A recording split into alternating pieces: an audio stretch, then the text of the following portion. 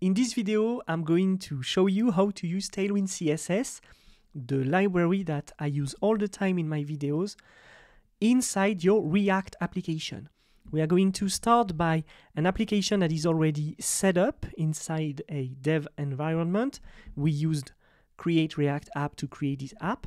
But I'm going also to show you how to use Tailwind inside an HTML file with React because probably you want to create a Chrome application or probably you would like to create a plugin or whatever.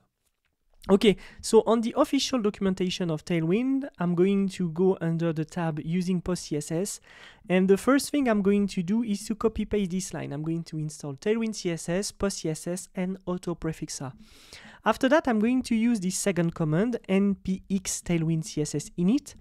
It misses something here. I need to put an hyphen p because I want to generate the PostCSS file. If you don't do that, probably Tailwind is not going to work.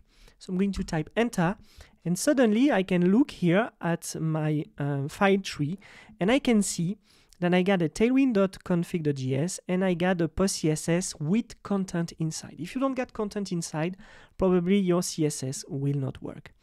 Okay, so when it's done here, uh, what I need to do is to add here this content. So we can see here that Tailwind is going to look at all the files inside my source. Okay, so I'm going to zoom a little bit to give you some explanation.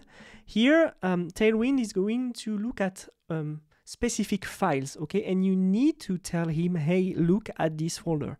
So until now, it's going to be inside the source folder. And here we got tons of files that are going to use Tailwind. Here we can see that we can work on the extension that Tailwind is going to look at.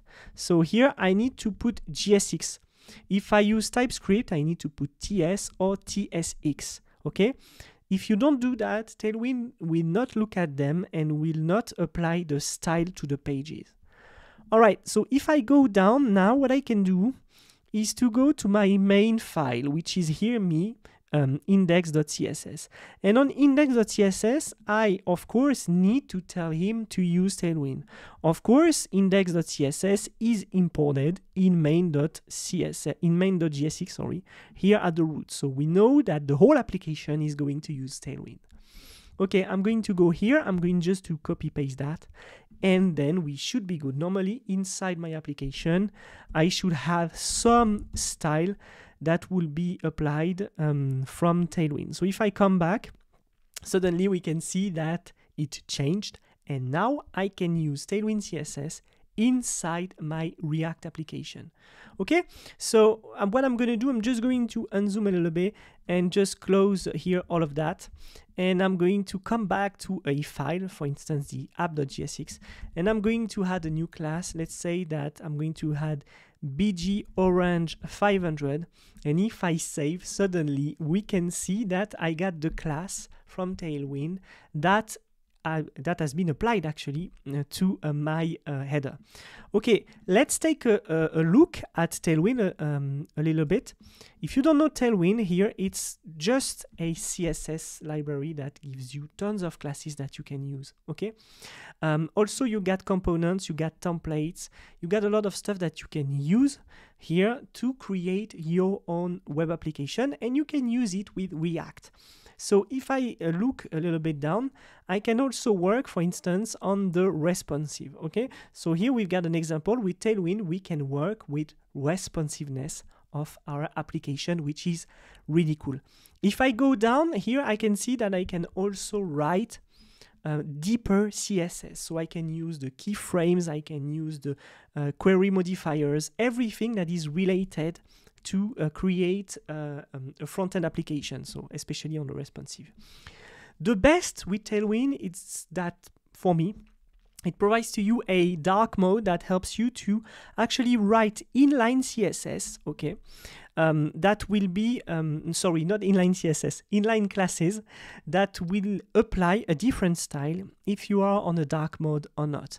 So I will make a video on dark mode probably just after to show you, but here we can see that on light mode and dark mode, we got the background that change and the color of also. For that, you can use here the prefix dark two points and then BG slate 800, which is the color of this element here. We can see here that on BG white here, BG white is applied on a normal mode, so on the light mode. So there is a, a, a dark um, prefixer that helps you to change the behavior, the style of a component depending on the dark mode or not. Okay, um, we just saw that I was working on the colors. Tailwind CSS provide to you a lot of colors, and every time you just need a, a, the color's name and an hyphen to apply the color. So if it's on text, you can put, for instance, text green. Uh, if it's on the background, you can put BG green, whatever, blah blah blah, and you will be able to apply any color that you want just here. Okay, what we should do now is probably to give you an example of how we can use React inside an HTML file and to use Tailwind as well. For the need of this course, I'm going to create an example.html file inside here this workspace. This is not related to our Create React app.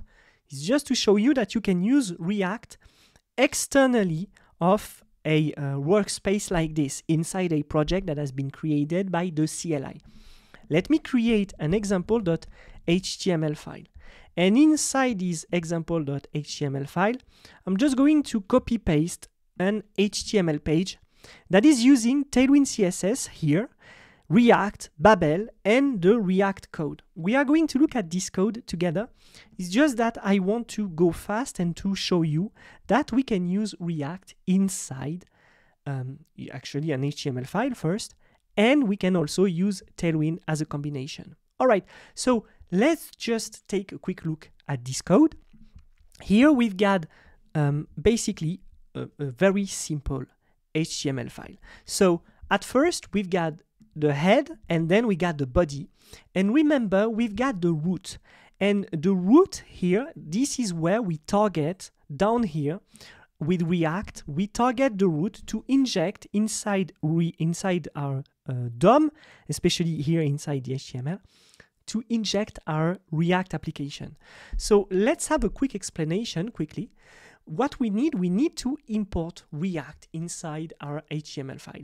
So we can see here that from unpkg.com, we call first the version 17 of React, and we also call the DOM. The DOM is going to come later. We will get a specific explanation for that, a specific listen. And also we call Babel because React will need Babel to uh, render actually uh, the code that we will write.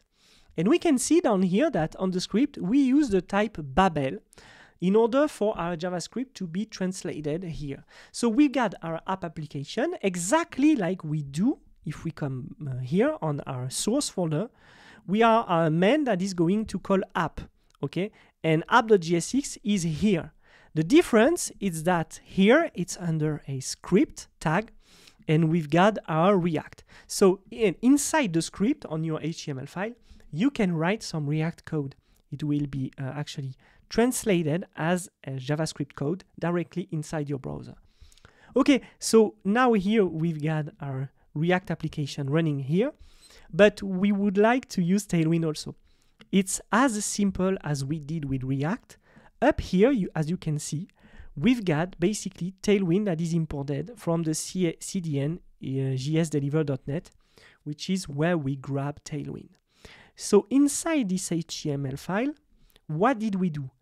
We basically called React, the DOM of React, Babel, in order to write some JavaScript code to write a React application just here. And you can see later that you can use everything that is related to React directly between those two tags, okay? We could have a big, big um, uh, file or probably externalized file uh, such as components, things we are going to look at just after, and have a real application, a complete one. But also what we did, we imported Tailwind CSS in order to translate actually every class that, that we got here into real CSS. So we can see here that I don't need to use create React app. To use React, I could use React inside an HTML file, and I could use also Tailwind CSS next to it if I would like to write here an application or a piece of an application directly inside an HTML file.